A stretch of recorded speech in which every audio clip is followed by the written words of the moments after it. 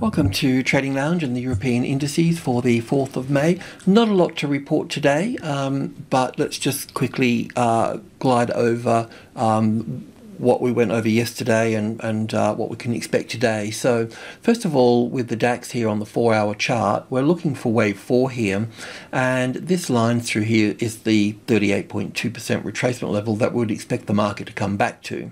So it's far from that at the moment. Um, also, wave fours can get rather complicated, but um, first of all, it just hasn't pulled back to that level there. Um, so it's a long way off from, from that. Um, it's possible that I could view it as wave A here and ABC for wave B here, and then this move down through here as wave 1, coming back for wave 2 in the box here, and then down for 3, 4 and 5. Um, I don't know that, um, but what I can say is that if the 15,300 here becomes the support up here, then we'll need to go long from that point. So that's where we're at with that really. There's not a lot more i can add to it. I mean i can look at this as an a wave a b wave here and then five waves down four waves uh, let's put that on top there where it should be. Um, then I could look at this as wave C down here onto this low here and then we could look at this in a bullish term here so wave C or 4 sitting here. But it hasn't pulled all the way back but you know things strange things, stranger things have occurred. So all I can say is that we should just stand aside, stay neutral. If the 15,300 becomes the support, we get a setup there, we'll take it. Otherwise, I don't want to get caught in this trap uh, here for that.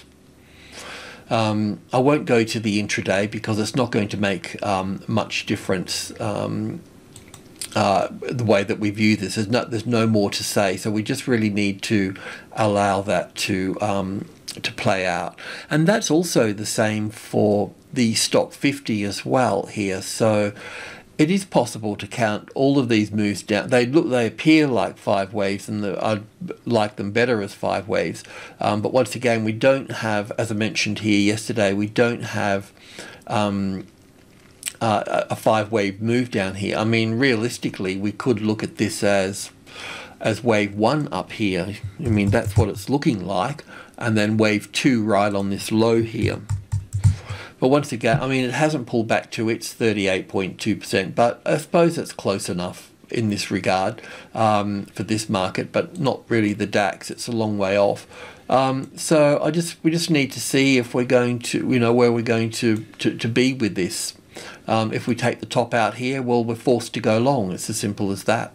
Um, but I just want to give this a little bit of time here because I could count that up as an A and a B and a C wave here, and we could, you know, and we could just come straight down from that point, uh, and we'll have something of this nature. But I could also count it as one and two and three here, and four and five taking us up here, and then an ABC pattern. So. Um,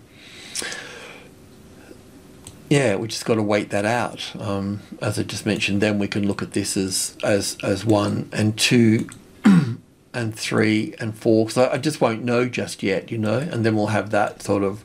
Well, if we do get five waves up there, well, then we'll be, you know, we can look to go long um, earlier than that, taking that top out. Uh, we can always pretty much get a better trade than taking the top out. Um, we just need to be get our timing right here. So anyway, that's kind of where we at are at with this. So I don't know if I should look at this as wave one or wave B. That's that's my that's my issue. And the FTSE's um, same but different. So um, it's the same story here as well. We're looking at this as I mean it's pretty clear to me this is five waves here. So we should see a correction and then and then this drop here, but we're just not seeing the drop. It's just sticking like chewing gum to that 7,000. So, um, you know, I can't go long either because we don't have the 7,000 as support. Because to manage our exposure or manage our risk, we need we need to know what number that we're working with so we can put our stop under that, and we don't have that yet. You know. So we're still on the front line here with, with, this. So there's nothing. No, I can't really. We can't do anything here at the moment with this. I mean, even in the next session, let's just say that it pops up and does something like that.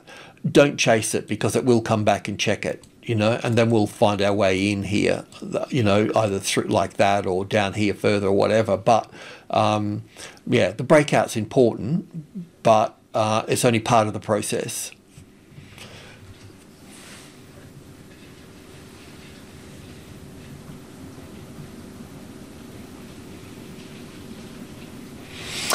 I mean, it's possible to count this here as wave one here and two here and three here and four right to that low there and then look at wave five here for that. But we still need that ABC pattern here as well after that. So it could change form, this could change form um, but we, we just don't have the setup. There's nothing I can really say or do about it. We just have to wait. So um, yeah, nothing exciting to report here, ladies and gentlemen. So we'll just uh, continue to chill out on this one. Alrighty. Thanks for tuning in, though. Cheers.